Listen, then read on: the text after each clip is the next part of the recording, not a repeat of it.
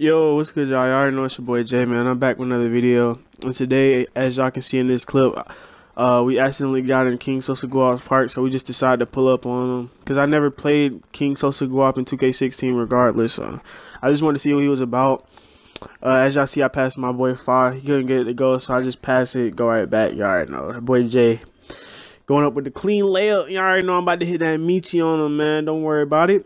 But as y'all know, it was the score was like 21-4. King Sosa Gua was the only person doing on some on his team. I killed the fuck out that point guard.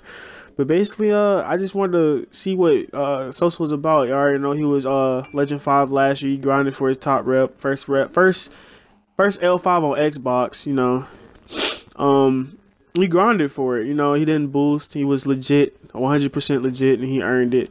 But I just wanted to see how he plays in this game because I never like I never played him in 2K16. So I mean we're we're good friends. He asks me to run two sometimes. I be busy though every single time he runs. He wants to run twos for me. So I'm gonna run tools with him sometimes uh, when I'm available. But sometimes I'll just be in my court trying to get my badges. As y'all see, I'm getting straight greens, straight greens. Who said playmakers can't shoot, bro? Who said playmakers can't shoot, man?